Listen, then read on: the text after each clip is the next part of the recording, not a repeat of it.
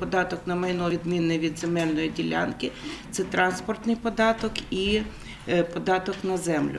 В цьому році платниками податку на майно стало 22 22 тисячі мешканців нашого міста, яким визначено до сплати е, 9,6 мільйонів податкових зобов'язань. Вже на сьогодні сплачено е, близько 2,5 мільйонів.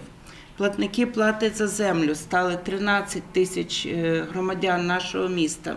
Їм визначено податкові зобов'язання в сумі е, 5,3 мільйона гривень.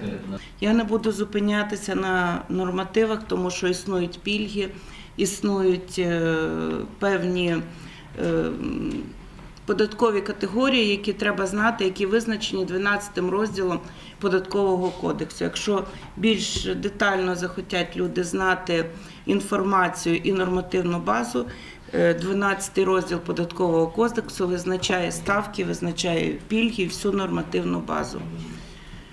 39 громадян нашого міста стали платниками е, транспортного податку, і е, до сплати їм нараховано близько 800 тисяч податкових зобов'язань.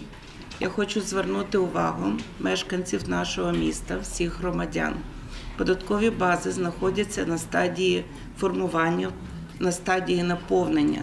І наразі існують дуже багато е, неточностей, і коли наші громадяни отримали повідомлення рішення, е, можуть виникнути питання щодо ставок, щодо пільг.